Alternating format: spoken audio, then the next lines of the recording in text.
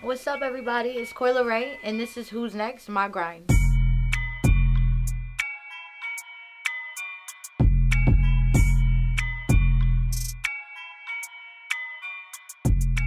I would say nonstop. It's just busy, you know? Um, like, for example, today, To wake up at 5 to get on the airport, be at the airport by 7.30 to get off the plane, to get right on the bus, to come right to an interview at 12, to come to another interview at 1.30 to 2.30. Then after I got sound check at 5, after 5 o'clock, we got to go to the Alexander Wang show at 7, and then I go on Showtime at 8.45. So that's an example of one of my days right there.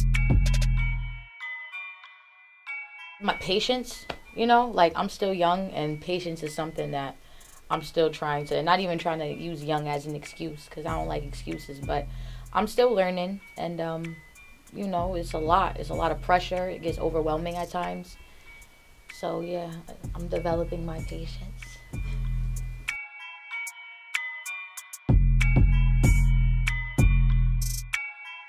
I don't know. Honestly, I think I was just like born like a golden child. Like I'm a superhero. Like I always had ADHD, always was athletic, always wanted to turn up, life of the party. I hate bad vibes.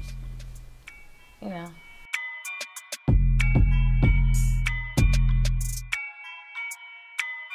It honestly hasn't hit me yet. However, I'm realizing it is getting real the more my day gets busier and like um, you know, like right now I'm on tour. It's my first tour, you know, and it's crazy. Like it's just me and my team too. We don't got no we don't got nobody else.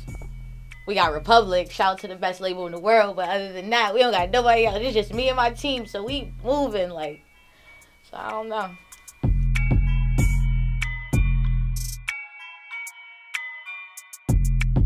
It's all about really like finding someone who got got as much passion as you do, you know? And um, everyone on my team, like, they want this shit more than me, I would say. So everybody go hard. And that's like, you know, no envying, no jealousy, no fucking. And they all boys, too. So it's like, I don't hang with a bunch of girls, you know? It's just, and then me and Nika, the only girls that ever make Nika Caitlyn. And it's like, you know? So. What's up, everybody? It's your girl, Coi Leray, and I'm Who's Next? Everything cozy. And you know, I don't know if they can see the drip from down there, but you're not gonna show. So. Wanna see? Ah, pants. My, my butt might look a little big in these. These these Alexander Wang tight joint style by Bailey, baby. You see me got the Gucci socks. See Gucci socks. You know, you gotta take advantage of these things. Listen, when you get get you some money, you get a little, you gotta just show off a little bit sometimes. I be too humble. Nah, I'm gonna stop. I'm who's next. I'm out.